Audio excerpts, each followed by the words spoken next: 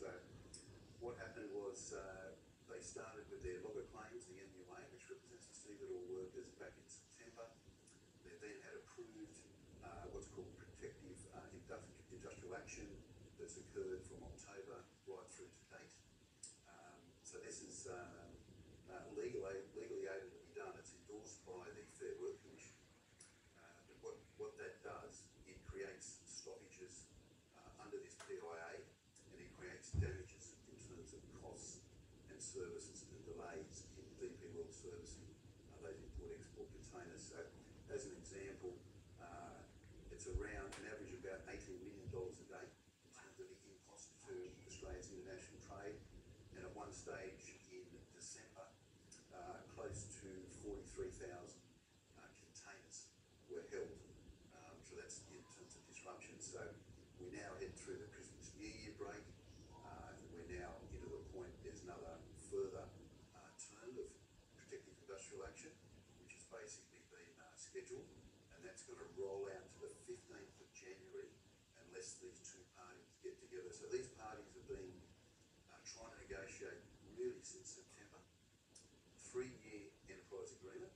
If we go back to the last one, the last one was negotiated, done and dusted in six weeks back in 2021. All right, so how are these delays affecting so many Australian businesses right now, and, and why aren't people paying closer attention to this?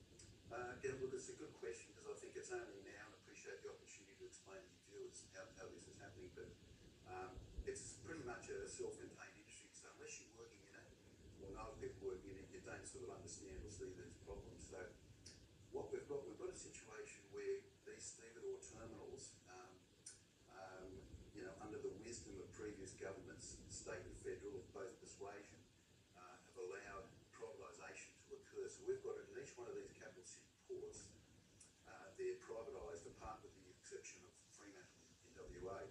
So there's layers of separate ownership that has very, become very difficult at the state and federal level, level to uh, control situations. So as well as this industrial issue that we've got, which needs to be sorted out next week, we've also got uncontrolled costs and levies and surcharges that these terminals force on the Australian economy.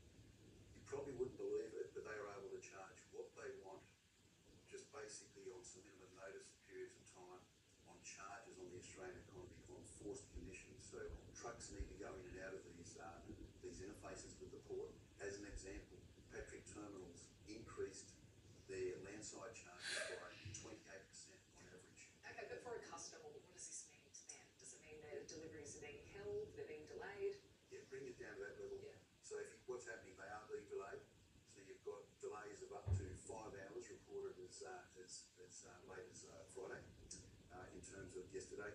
So that is an impact in terms of delay. So it's extra costs for transport. Um, it's creating um, backlogs and extra costs in the large depots that service these movements. This is going to impact the consumer. So Okay, Um, um, jacks up prices as well. I just want to get to Yeah, Brian. yeah. Uh, as a business owner working in the freight industry, you're at the forefront of this issue. How tough is the situation for you? Yeah, it's actually been pretty tough for businesses like ours in the industry, but it's not just us. It's like Scott said, it's uh, many others in various sectors too. So the impacts are quite wide ranging. But with the industrial action going on since October, and looks like it could be continuing for months, and it's just causing delays for overall smooth flow of goods out of the port. How much? And like Scott said, it's just costing extra time, extra extra labour to every shipment, and obviously that costs money. And it just makes meeting deadlines for, for our clients like really, really challenging. And unfortunately, we seem to be copying the blame for action that's outside of our control.